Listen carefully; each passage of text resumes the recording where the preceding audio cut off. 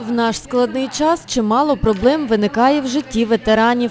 Про шляхи подолання труднощів людей похилого віку йшла мова 22 лютого на звітно-виборному зібранні громадської організації Мелітопольська районна організація ветеранів війни, праці та дітей війни.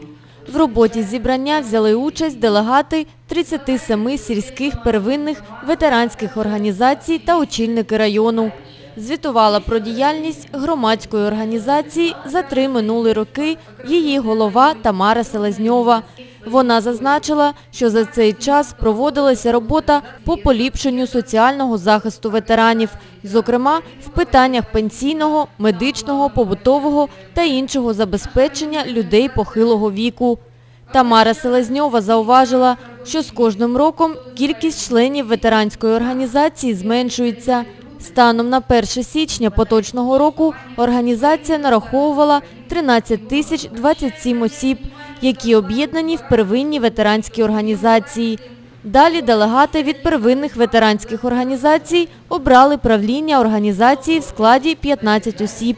На першому засіданні правління головою знову обрано Тамару Селезньову, заступником Людмилу Борисенко, головою ревізійної комісії Юрія Єрещенка.